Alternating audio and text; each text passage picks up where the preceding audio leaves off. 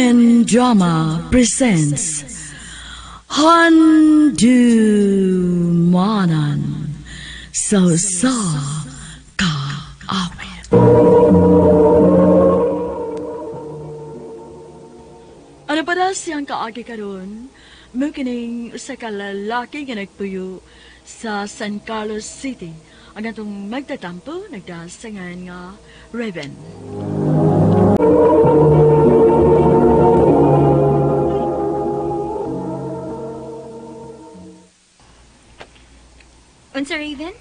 Manguyab ka na ako? Mao na, Tris. Sa tinood lang, dugan ko kabantay ni mo din sa eskwelahan. First year college pa lang ta. Maulo ka ni mo adto kay dili pa mata close. Pero karon kay close naman ta. Mong nakaigay kong sulti mo sa akong feelings. Na, manguyab ka na ako? Gusto ra ba kay ko? Dili ba ako gusto nga imo lang kong dalon sa kilid-kilid. Gusto ra ba ko class nga mga kananan? Ha? Ikaw yun. Ay, pag binuang, uy. Uy, wa ko mabinuang uy. Tinuod akong gisulti nimo. Maubit ang wagi ko gisugot din eh. Kaya dili man makatag sa kung gusto. Oh. Kung gusto kang subtonti ka, palitay ko sa akong bag na naganahan. Naa sa mall. Tag 800 kape naman siguro to. Oh, Tris.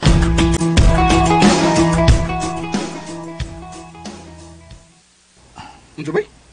Banghuam ka og 1,000 para mapalit nimo ang bag nga iyong gusto? Bay, sige na, bay. I- Ilisan taraw niya ka. Inipada ni Papa ni Mama. Wa pa mo kukugyata alawan si Mama kay wa pa mo na magkapada si Papa. Uy bay, iyawa sa dayan ng Tricia eh. Ka materialistic ko dayan niya. Bay, sige na, bay. Ana hala, sige. Bawa man ka. Pero bay, tambag inamigo ni ako ha. Ay bay gud pagsugot nga abusaran ka na uy. Dili ba gani ka mo? Pero demanding na kayo.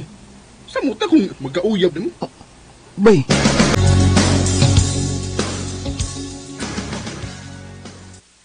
Wow! Thank you, Raven. Magkagipalit ang bag nga kung gusto. I really love it. Basta para nimo, Tricia. Unya, kita na? Mm, okay. Yes! Thank you, ha? Ngayon mo kong gisugot. Salamat kay Tris. Isa na ko nimo. Dili ka gina bahay. Bantay bitog imo kung pasakitan, ho? Hindi na may tabo. Mahal kita ka. Dili may tabong pasakitan ka.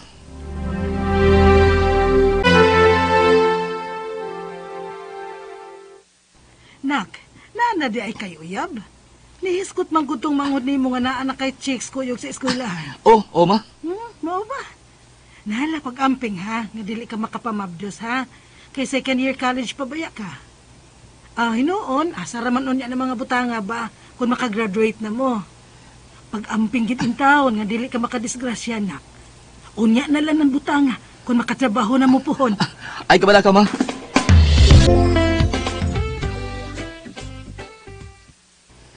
Raven, babe. Na ako iniibgan mo sandal ba? Palitit pa eh. Mm, Mo ba, baby? Ah, ah, sige, sige. Iligpada ni Papa ni Mama. Ilighatag sa kong allowance. Palitan di ka.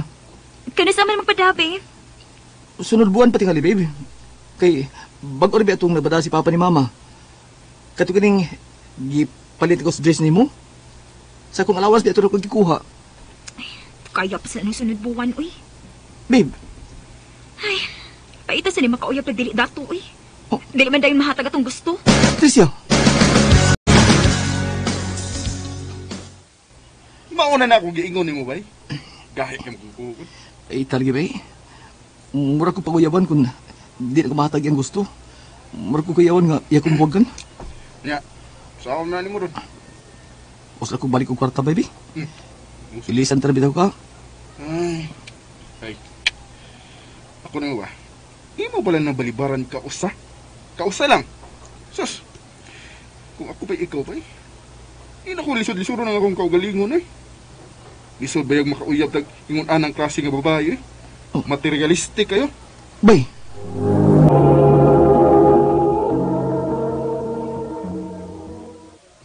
Bay, mahal ko si Tricia. O di ko gusto bawasan ako. Bisag abusaran na ka. Bahala na. Basta, di na siya magkamahin ako. Ay, importante nga, ako napakita niya nga pinanggal ko siya. O gibuhat ako ang tanan para sa among relasyon. Bay Riven. Wa magid paramdam ko sa siya sa gahapon. Makiglagaw ta ko niya ron. Sa bado man. Niya, nakawang ko kwartas ko amigo. Ako si palitan ng sandal nga yang gusto.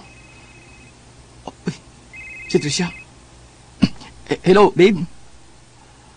Nga nanawag ka. Gahapon pa ko sig text nimo pero wa magid mo reply. Nasuko ka na ko, babe. Wa man. Um, kining babe. Ato tagmahol na. Palitan ka to sandal nga imong gusto. Ka, babe? Lagi. Mang pandam na diha. Mga alaon na. Anaon ti ka sa inyo, ha? Sige, babe. Babe, thank you ha. Thank you gid kaayo. Pinangga gid ay ko nimo. Siyempre. Love good kay tika. Mong, dili pa kita magbuwag ha? Babe, isaan ako ha? Promise, babe. thank you kaayo. Bay, murag nakakita kong Trisha atong usang adlaw ba? Oh. Naamoy ko yung tiguwang bay. Oh. Ah, dili ko sure ha kung igunsa to niya bay. Pero sweet man kay siya bay. Sweet kayo sila. Unya, sexy ba yun kayong isulog ni Trisha? Murag, murag dato itong tiguwang bay. Bay, pag sure ay.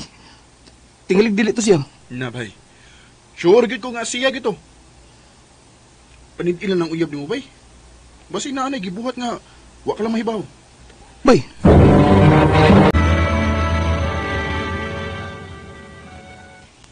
Babe, nilakaw ka pag usang adlaw? Naam gani ka istorya nako nga nakitaan ko kaniya. Aha? Uh, kuan, babe? Ah, oo, oo. Nalakaw ko. Nagkuig ming mama. Oh. Nga naman di ay. Wa lagi ka musultin ako. Looy. Kinahanglan gini mahibaw kas tanan ako mga lakaw. Desya, Uya pa lang ta, uy. Busa na pa ko'y kagawasan nga makagrelasyon sa lain. Desya. Oh, anak. Nansam ka, uy. Dalawa ba ni mo gihuna-huna? Ma, m- mura bag nausab si Tricia? Lahit mo siya gipakitang lihok na ko. Ba? Di nga naman di ay. Ambot ba ma? Di ko makasabot niya. Mura bag ubos kayo pagtanaw na ko. Iyalagit kong yan ninuhon ko na. Di ko mahatag ay ang gusto. Hmm? Sama pa litman sa unsa? Kanang mga bag, silina. Mga material nga butang ma. Uy, unsa ko di ay. Ha, buwagi na anak, uy. Dili gid ko gusto nga ingon anang klase sa babae ang imong maminyuan pohon. Wa nay ayaw ng babayhan na, uy. Ikaw mao'y luoy anak kung imo gyud ng padayonon. Ma!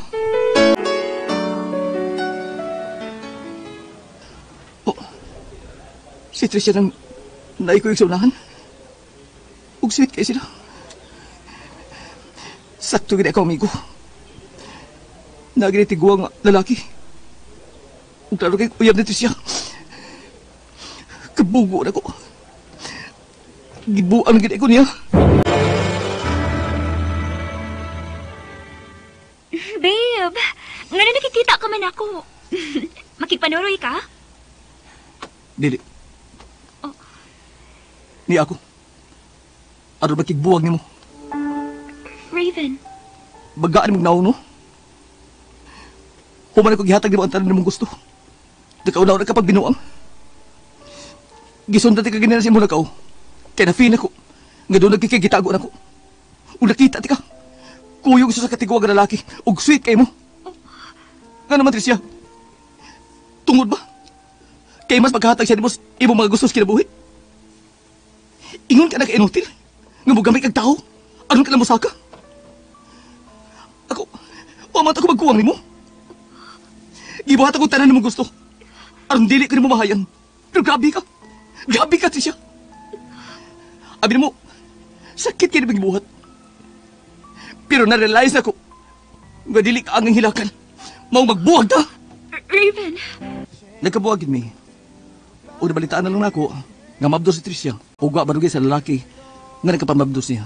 Sa tinood lang, bisag ako napasakitan ka ni Adto. Pero naluoy ba ako niya? Giyapon ako nga unta.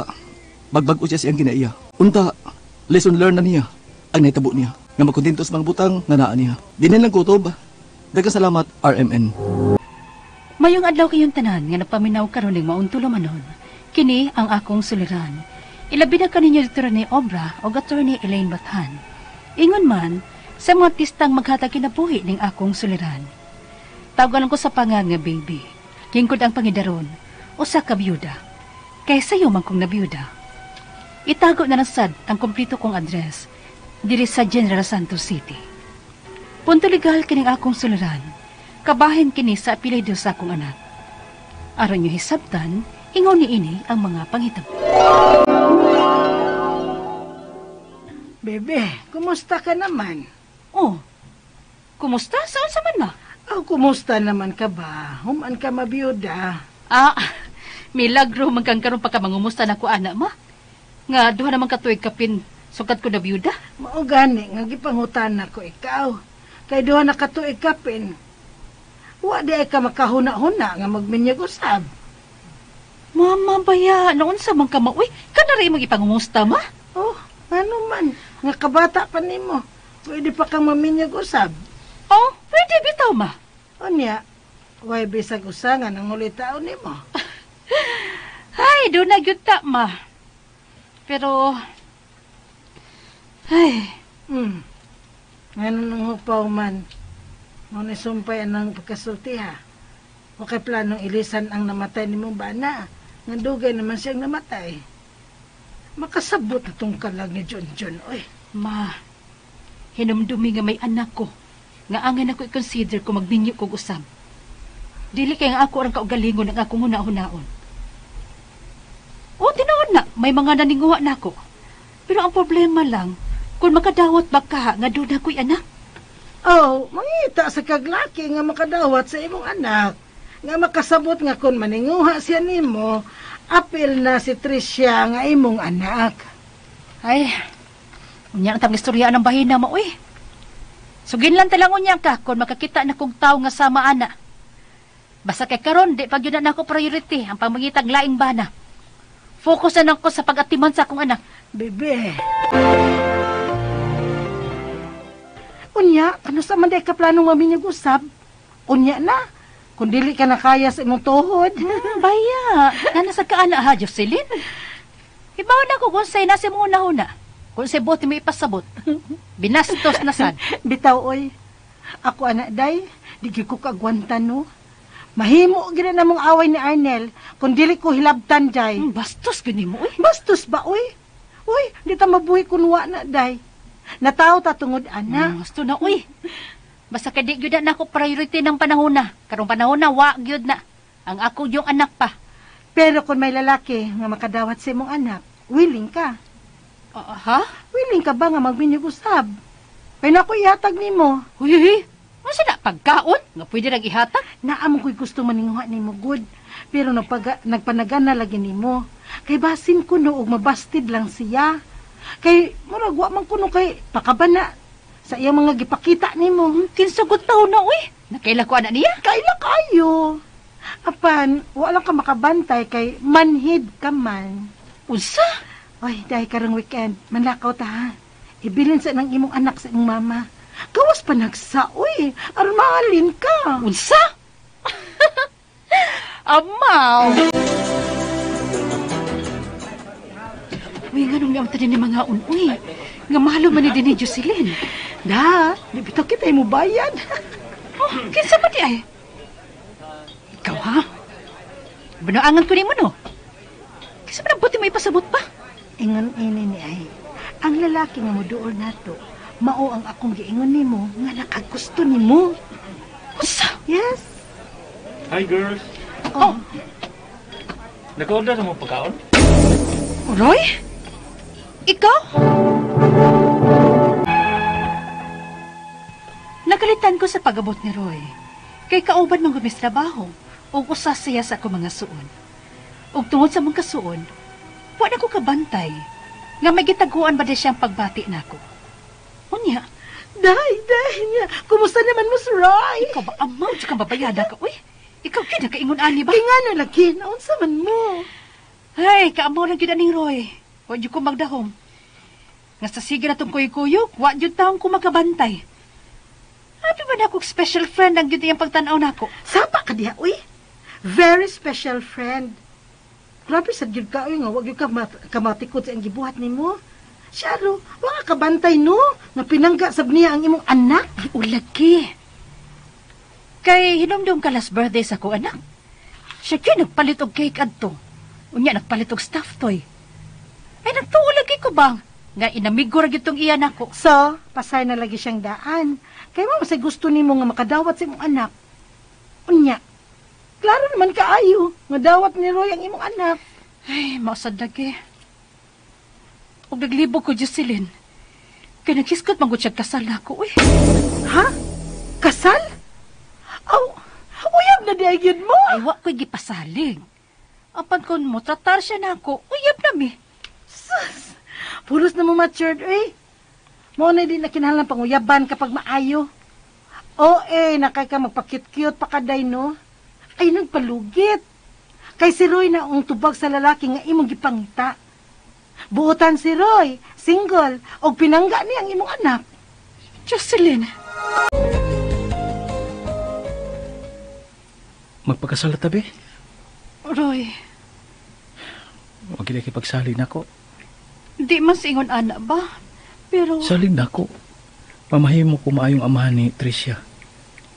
Ako na ipasalig nimo. Mahalo ng panggaon ko siya sama sa matuod akong anak. Roy, Ay, dili lalim nga magpadako kag anak nga ikaw rang usa. unsay may pasabot pa? Uh, gihatagan na kamo og ah, pagtugot ni Roy nga magminyo. Pa, Ay nakita kong buutan man na si Roy ug pinangga niya ang imong anak. Gipakasama niya iyag yung anak. Ah, mamahimo na siya mayong amahan ni Tricia. pa.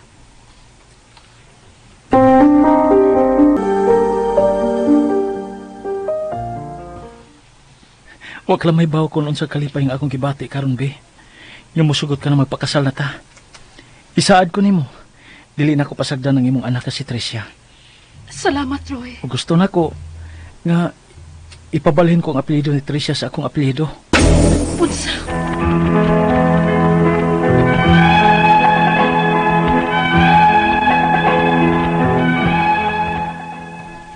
Plano na namo mapakasal ni Roy.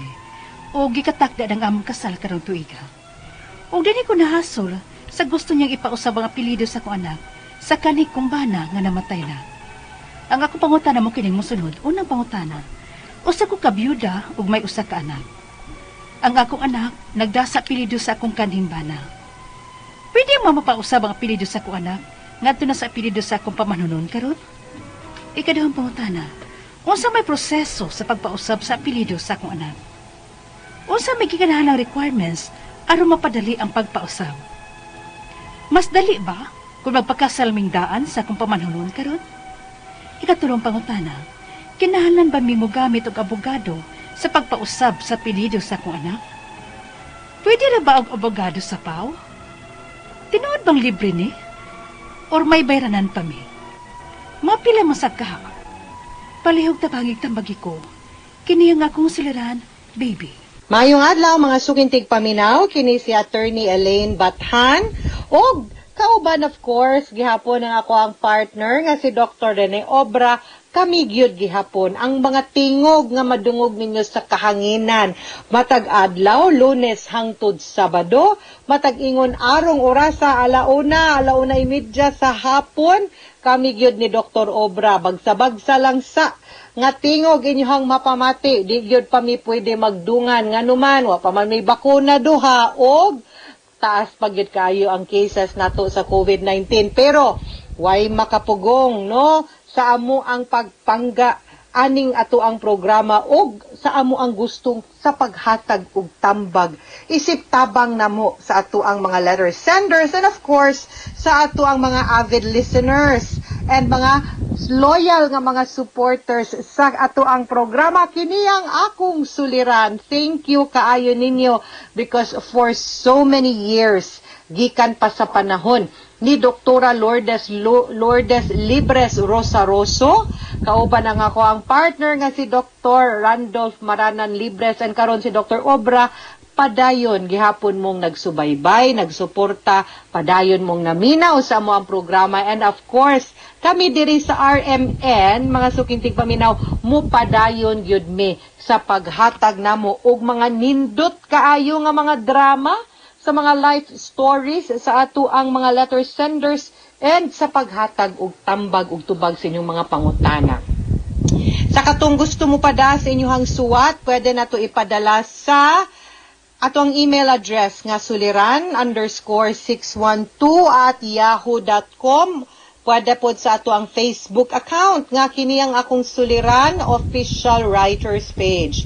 Pwede sa atong ipadala sa third floor Jose R. Martinez Building, Osmeña Boulevard, Cebu City. Matod pa sa ato ang quote of the day, you are never too old to set another goal or to dream a new dream. Tinuod yun. Diba? A dream is a wish your heart makes. Ah, nindot kay ang kanta, mga sukintig paminaw. And, wag yun na nag-ingon nga ang mga mudamgo, ang mga muplano, ang mga mangandoy, para ranas mga bata or mga batanon. Way gipiling edad ang mga ang pagpangandoy mga sukintig paminaw, mga higala sa kahanginan. Way gipili, pwede gyud pilang idara, bahalag unsa ato ang estado, libre pagani gyud na ang mangarap or mangandoy. So padayon nganuman kay kanang maghimo tag goal, kanang mangandoy ta, maunay usa ka way nga mamotivated ta nga mulihok og kabuto ning ato ang mga gusto pa makabot sa ato ang kinabuhi. Mahuman ang usa, o ari na puntas usa, no? Mapakyas ta aning usa o na pa may lain, no? Kung tan-aw na to bisag unsa na to paning kamot to pag yun ni, o basin di ni mao, ari na puntas lain nga pangandoy. Sky is the limit sa ato ang pagpangandoy. Ang importante dili rataman pangandoy. No? Ang ato ang mga ah, dat dili ra taman sa pangandoy ba? Dili ra taman si kikatog. Ang importante ato gyud ang parisan og kakugi paglihok og pagsalig. Meaning paningkamutan nato nga dili na magpabiling dream or pangandoy lang ning ato ang mga gibuhat no? Dapat ato pud gyud ning kabuoton ah. letter sender nato karong adlaw taga General Santos City ug gipadala ni sa ato ang Facebook account. Si Baby Si baby ni suwat ni nato tungod kay um nabiyuda ni siya. Na sila usa ka anak. Three years after, human siya mabiyuda na ay gustong mga sawa niya o gustong ipausab sa iyahang pamanhunon ang apelido sa iyahang anak ngadto sa iyahang apelido. No? Maayo pod. Nagdala sa apelido sa iyahang namatay nga ba ng iyang anak. Of course, kay minyo man og nas na anak man sulod sa kaminyoon, therefore, ang apelido sa bata, apelido gyud sa papa. So una niyang pangutan na usa ko ka byuda na ako'y usa ka anak. Ang akong anak nagdala sa apelido sa akong kanhing bana. Pwede bang mapausab ang apelido sa akong anak ngadto sa apelido sa akong pamanhonon karon? Okay. Pwede man, pero di manggod na siya automatic because nagpabilin manggod na siya, maski pag namatay imong bana, nagpabilin man na siya nga legitimate child sa inyong kaminyoon sa imuhang kanhing bana. Mao na nga magdagyod siya sa apelido sa iyahang papa, biological father. Pero pwede na niya mada ang apelido sa iyahang stepfather, pohon, kung una maminyo na mo, and inigkaminyo niya iyahang adapon. Meaning himuon niyang legitimate. Kay ang kana manggug pagdala sa apelido, legal manggud na nga proseso tungod kay naa manggud na siya legal effect under the law. Dili ra manggud na nga mausab lang ang imuhangan sa imong birth certificate, inig-fill up nimo sa imong mga ID, passport, apelido na sa imuhang stepfather ang madala no sa imuhang ikaduhang bana. Kung di naagid na siya effect later on, labi na sa kanang pagpanunod niya niya puhon. So, kung ang tumong sa imuhang ban pamanhonon, no? Imong second husband to be, is that iyahag yung itratar ug ang kunon isip iyahang lehitimo nga anak ang kanang inyong imong anak sa imong unang bana nga namatay na then the correct process will have to be an adoption. Kinahanglan adapon sa imuhang second husband ang imuhang anak para mahimo na niyang lehitimo nga anak ug isip lehitimo nga anak naagyud siya rights no as if anak gyud siya sa imuhang ikaduhang bana. Okay? Ikaduhang pangutana unsay proseso sa pagpausab sa apelyido sa akong anak. Unsa may gikinahanglan nga requirements aron mapadali pag-usab? Mas dali ba kung magpakasal ming daan sa akong pamanhonon? Yes, sigon sa akong gisulti nimo ganina, you have to get married first, magpakasal sa mo para naanay basihan nga ma-adapt because maura na ang legal nga procedure para makadala ang imuhang anak sa apelido sa imuhang second husband.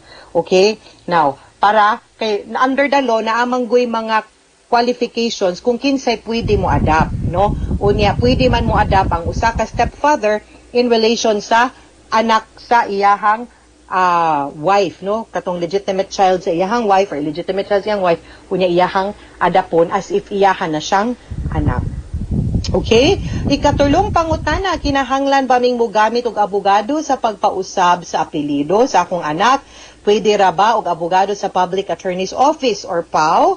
Tinuod ba nga libre ra na or may bayranan pa may mga pila sad kaha? Okay. Now, because the only way nga akong advice nimo mga mailis ang apelido sa imuhang anak ngadto sa apelido sa imuhang second husband to be, kinahanglan manggud na siya og legal nga proseso diin ang korte mo mando no og motugot nga makadala sa apelido ang imuhang bata sa apelido sa imuhang ikaduhang bana and based on that order ipakita na nato sa local civil registrar aron mausab ang iyahang birth certificate. Ang ug ang mugawas didto nga siya nagyud ang lehitimo nga amahan anang bataa ug mauna pod ang apelido nga iyahang madala ang apelido sa imuhang ikaduhang bana. So of course kinahanglan gyud ta og abogado.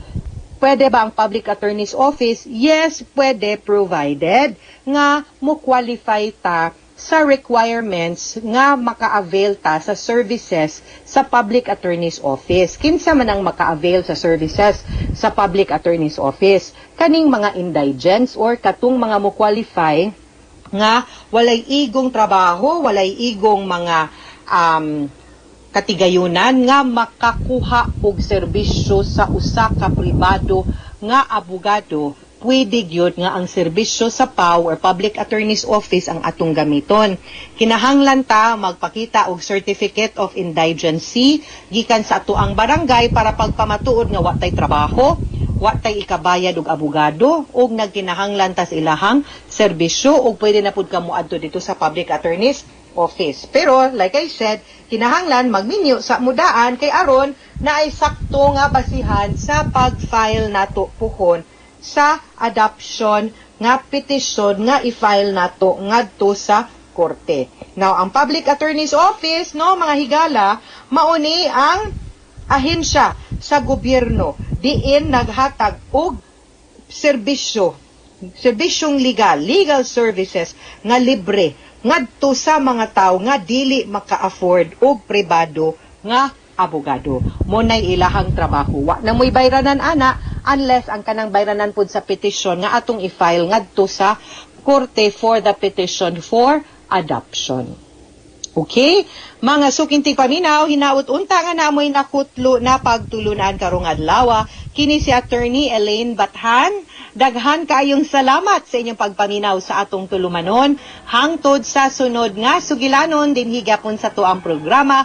Kini ang akong suliran gikan sa RMN Production Center, Radyo Mo Nationwide. Tatak RMN, daghang salamat. Stay safe mga sukintig paminaw o maayong adlaw.